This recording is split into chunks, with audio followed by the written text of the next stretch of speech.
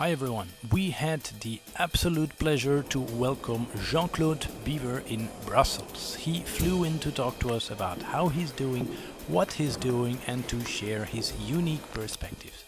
The man is simply unequaled in today's watch industry.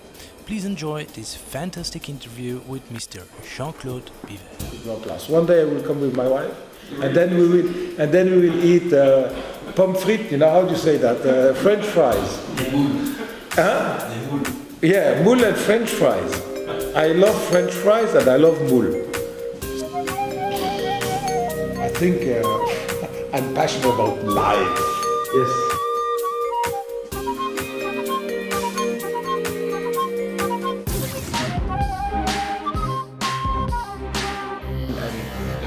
Salesman. Und ich bin kein Salesman.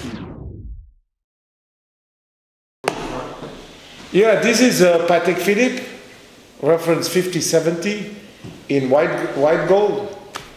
It's a watch I love. You can see the bracelet. There's a lot of traces of, uh, because I wear it quite often. And here I have a Rolex Daytona Rainbow. And my wife tells me, oh, this is not for you. I say, yes, I understand. It's not for me, but I like it. And it's not for me, but as I like it, I wear it. Because I love, yeah, I, I wear watches with my heart. Um, but which watch do you wear the most, Mr. Biver, if you wear two watches? Number one, I don't wear always two watches. Usually I wear one. And uh, number two, I love this Patek, but I also love the watch that helped me the most. It's the Bigger Bang All Black from Hublot. This watch I have started to wear it in 2005, and honestly, I think till I became ill, I have been wearing this watch 90% of the time. And this watch is my lucky watch. When I wear this watch has brought me so much luck, so much happiness, so much success that I will never be able uh, not to have it close to me. It's like my bag. I have a bag that I have since 1982, and this bag has done all my career. Yeah, it's there. The bag uh, went through all my career. And this bag, one day I want to give to one of my child to say, voila, put your files in this bag. This bag is the bag that will bring you success. Or put this watch on. This watch, the bigger bang, all black from Hublot, will bring you success. I see myself as somebody who has understood that to be strong, to be successful, I need around myself a lot, a hell of a lot of help. As I believe that I need help, I also have understood that help should come from people that are better than me. Which means I have people around myself. The oldest person has been with me since 49. The latest person has joined me at Omega in 96. And all these people have been with me since 79 and the other one since uh, 96. And they have given me extraordinary help. And when you get a lot of help, uh, there is suddenly a momentum that starts, and this momentum is like uh, an avalanche in the snow. It gets bigger and bigger and bigger. Can you imagine that I have worked on five brands and the person from 79 has joined me, has followed me in these five brands? Some have followed me only in three, because some are young, they started in 96. But nevertheless, this team, and that is what I say to the students never forget if you want to become strong, be surrounded by stronger people than yourself. Because if you are the best and you are the strongest, how can they help? They can only help if they are better than you. And very few people dare being surrounded by better people than themselves because they want to be the boss. They want to say, I know. They want to give instructions and order. So that is an enormous difference between me being an entrepreneur and many, many others. And I teach students never forget to be surrounded by better people than you. Yes, but then how can I be the boss? Hey, careful. If I am a conductor, orchestra, and I have the best piano player, the best violin player, the best violin, it doesn't mean because they all play better than me that I cannot conduct these people. so uh, I have played the role of a conductor. I have also helped my people. You know, when I see the CEO of Hublot today, when I gave him the position in 2012, he had started with me in 1986 as a logistic junior, taking the car and going to collect uh, dials or hands or crowns. And slowly, slowly, he has grown up. But he has grown up because we have helped him. He has also grown up because of his own capacities, of course. But he got help. When you think that the CEO of, uh, of uh, Rolex is even today one of my three best friends, but he has been 12 years with me. Uh, I was his mentor. And this is also a role that I have played. I'm the mentor of people. Uh, then that's probably half of my success, or 60%. And then the other 20% of my success is luck. Because luck is something that you meet when you move. Luck is like a, a hair uh, that is from the top. Uh, uh, so there are many hairs that you cannot see, invisible hairs that you cannot see. If you don't move, you cannot touch them. If you move, boom, suddenly, because you don't see, you touch one. Ah, and then luck comes. And you move again, boom, luck comes. So luck is the consequence of activity, of moving. Luck is also the consequence of behavior, moral behavior, ethical behavior, uh, honest, authentic, boom, boom, boom, and then luck comes. And the rest is hard work. So you see, uh, I believe in the, in the club, I believe in people, and together we are stronger than alone. And together we don't feel being alone. So I'm not a lonely guy. I am a man of a community. I have lived when I was a hippie uh, during four years in a commune, and I have never lost this mentality. And in a commune, you share. In a commune, you respect. And even in a commune, you forgive mistakes. So, if in business, if with your team, if you share, what do you share? We share success. Oh, okay, everybody shares success. All right, but we share mistakes. Aha. We share visions. We share experience. We share knowledge. We share doubts. If you share on a larger scale, you make people confident. You give security. Ah, the boss has shared his mistakes. He has accepted, he said he did this and this wrong. You see? So the sharing is an important element. Then, if you respect people, you respect that not everybody is like you. It's not because I get up at 3 o'clock in the morning that I want everybody to get up at 3. I respect.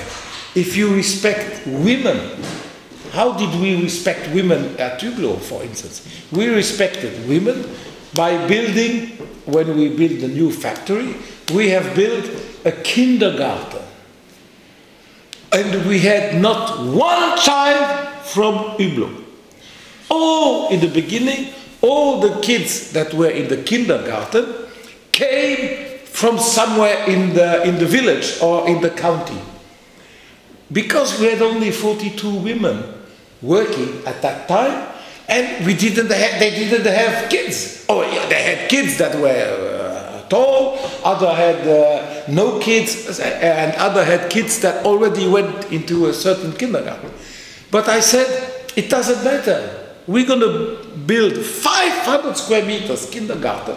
And if this kindergarten is empty for a few, one year or two years, who cares? But one day it will be full. So this means I respect women. It's not that I give the same salary to men and women for the same job. That's normal. But I respect women because I understand that they have obligations because of the children that are not similar to man. So I build a kindergarten.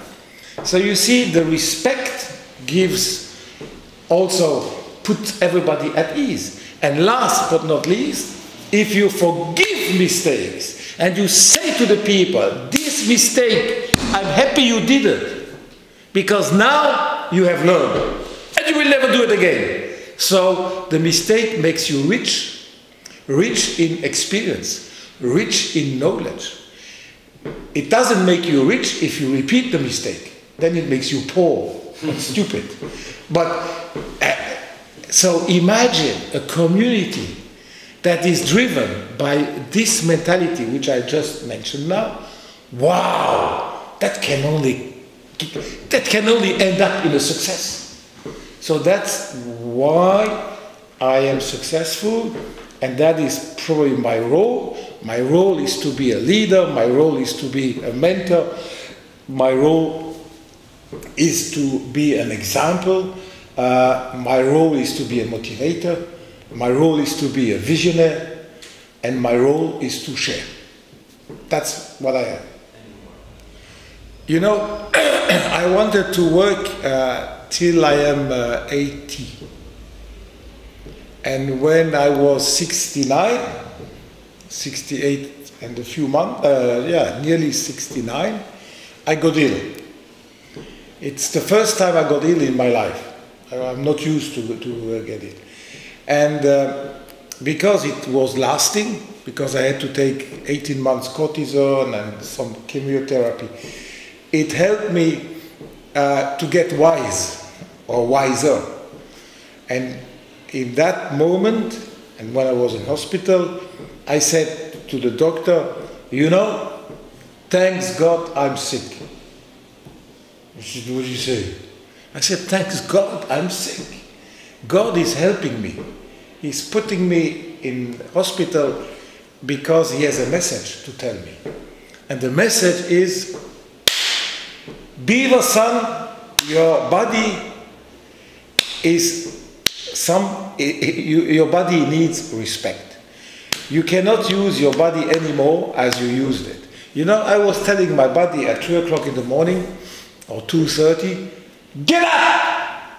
And the body says, fucking shit. I have to get up? Yes, you get up.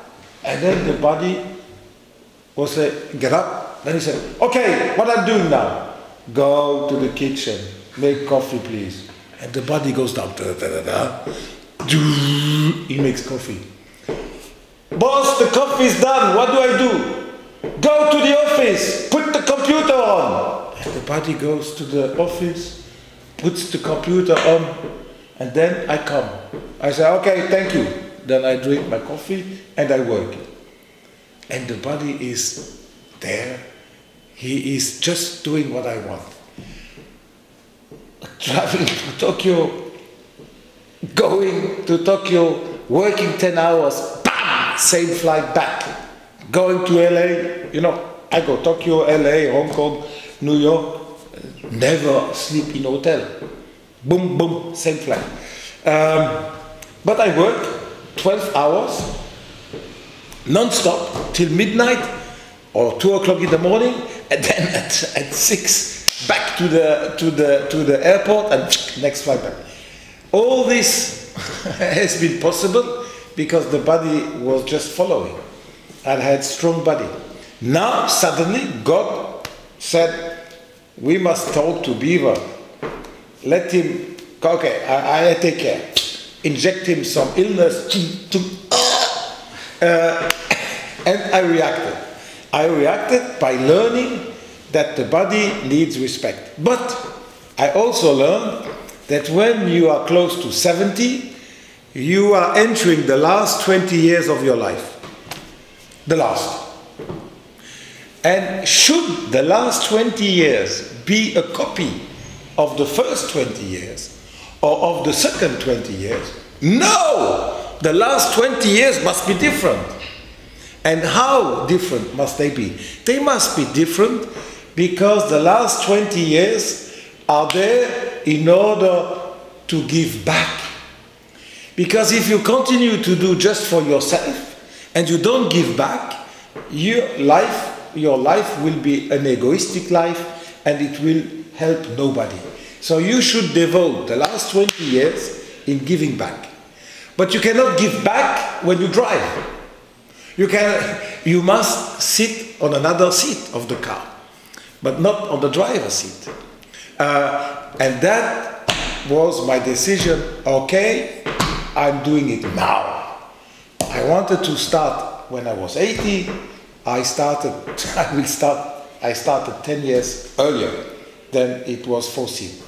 Now, how is it to sit in the, in the uh, I think it's very motivating because there is a huge pleasure in giving back.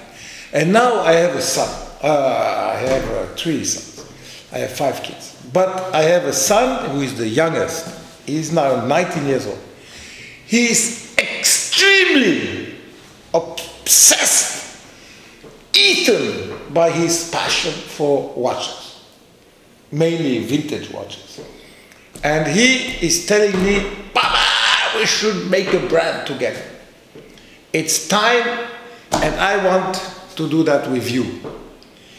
If he wants to do it with me, maybe I will do. Why? Because I want to teach him. I want to help him. I, okay, why didn't you that? Why didn't you do it with the other children?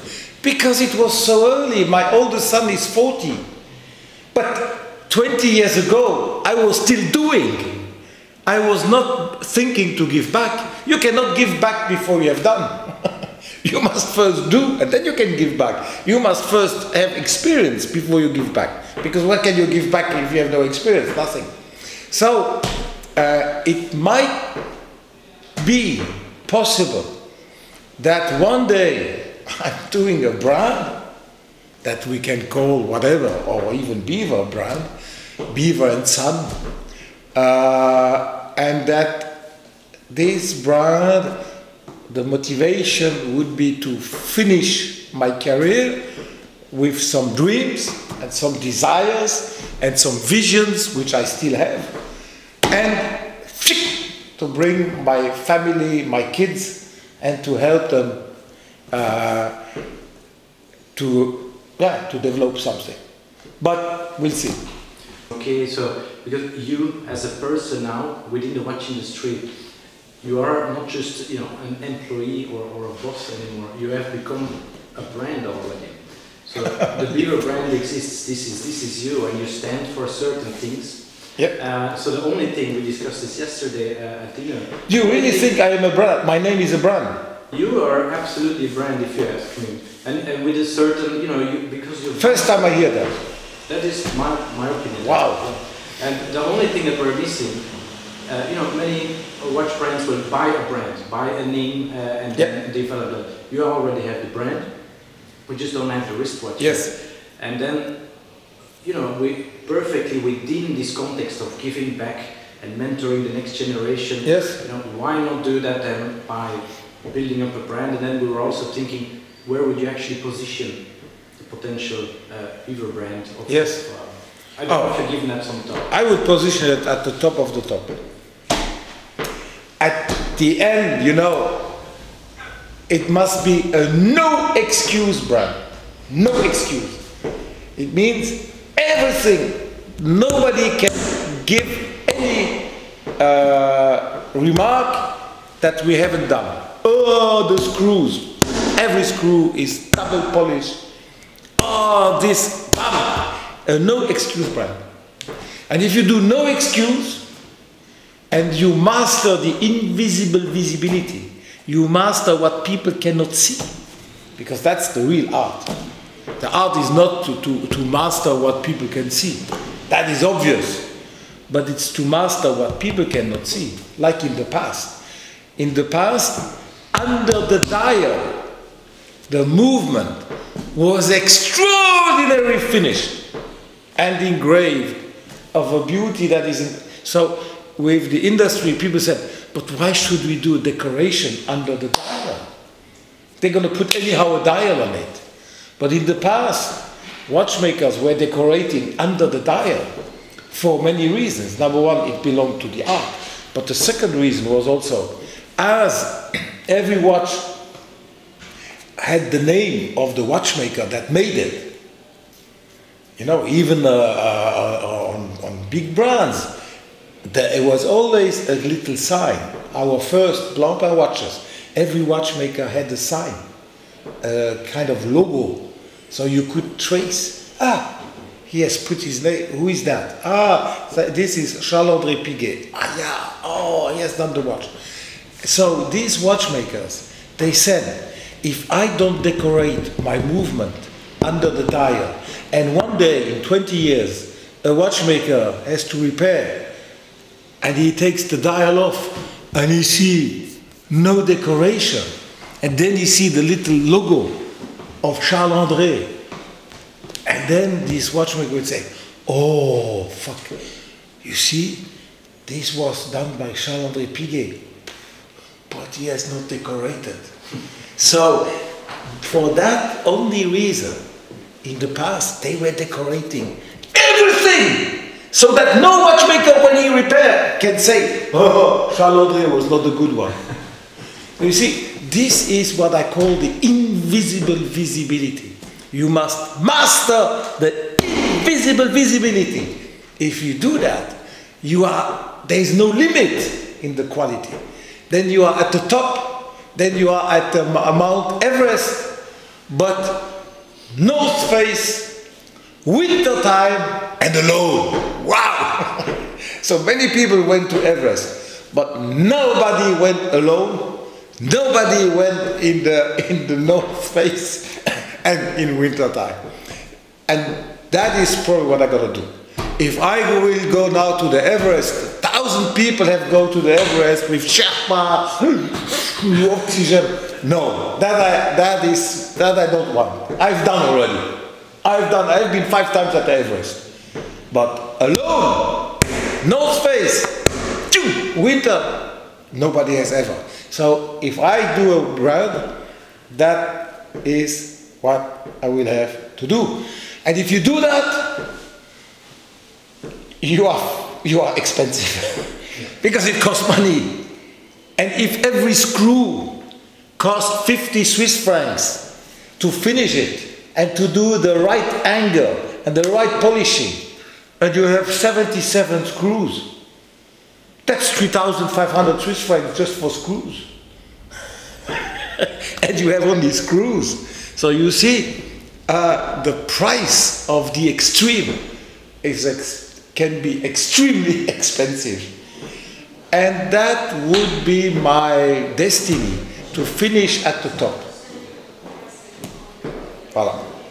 Uh, am I correct in sensing that you're actively thinking about it now and or working Listen, on it? no, I, I'm thinking about it because you were as, asking the question. Uh, you know, I have um, I have a, a relation with uh, LVMH and with Mr. Arnault, and I'm still working. Uh, okay, I still have. Uh, uh, yeah, I'm working full time, so I have not much time to think about it. But you know, from time to time, as now in the interview, you ask questions and I give answers, and this slowly, slowly is building up.